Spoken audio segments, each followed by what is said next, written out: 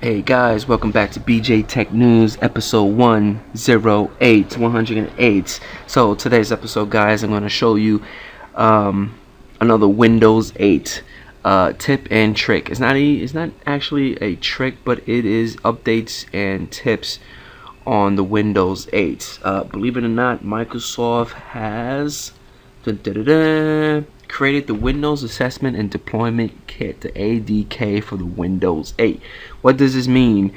Uh, it's basically a collection of tools that you can use to customize, assess, and deploy Windows operating systems to new computers. So it's time for you to prepare yourself for the rollout of Windows 8 in your office. Cool.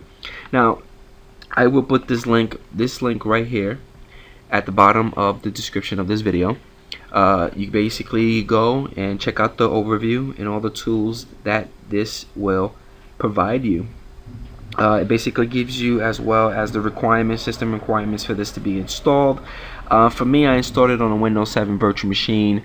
A uh, couple of problems because I need to uh, have Service Pack, uh, I believe, 2 and so I'm having a lot of issues with the tools but I'm going to show you guys how to get yourself up and running. Uh, so download this app and just install it. And uh, first thing that you do when you double click on that application you're going to get this nice little Microsoft framework dialog box. You need to accept this and install it. The next thing that was going to come is this this and it's going to do a reboot. Once you reboot your machine and you log into the machine you're going to see this little window right here on the upper left corner. Do not worry about it. Uh, this is actually the ADK doing its thing. Uh, once that uh, once that disappears you get this to specify the location. I left the default as the C drive. Um, again virtual machine so my virtual machine hard drive is real small but the uh, the disk requirement is about 5 gigs. Hit next. I don't really want to do the customer support, so I hit no, next, accept it, yes. Now these are all the tools by default, only the deployment tools, Windows pre-installation environment, and Windows performance and Windows assessment toolkits are the only ones default.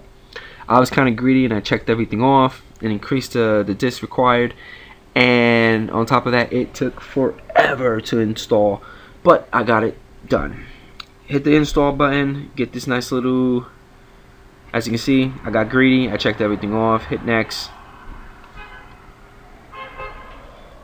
Oh so, sorry guys. Uh, so I actually checked off and I did screenshots of what's what.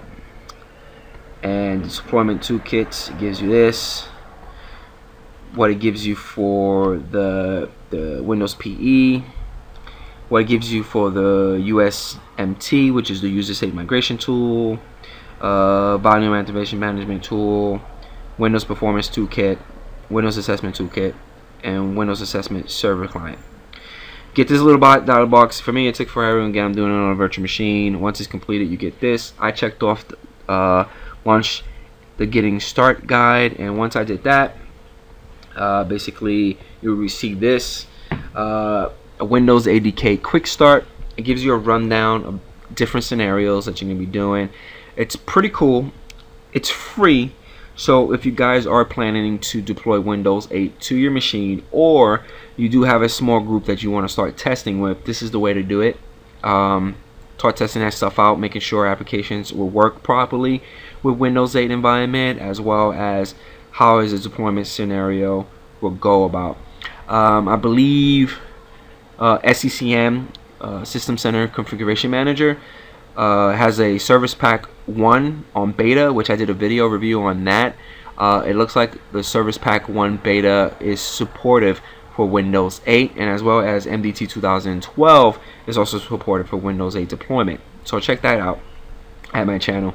Um, other than that, uh, once all that installation is done, you go to Start, you get all these goodies right here, Windows kits, Windows ADK, Windows Performance Toolkits, and that's about it. Hopefully, you know, future episodes, I'm gonna go over. I gotta fix my virtual machine and get it to par for these applications to work properly. In the future videos, most likely, I'm gonna show you how all the tools are working, how to get yourself set up, so you can start um, um, getting ready for the Windows 8 deployment at your office. Hopefully, you guys enjoy this video, and at the very bottom please leave comments and let me know what you guys think about this video as well as give me thumbs up if you enjoy it. And at the very top right there there's a subscribe button. Hit that subscribe button. And to get the latest and greatest tips and reviews on hardware and software. And don't, don't forget about gaming. So I'll catch you guys later and thank you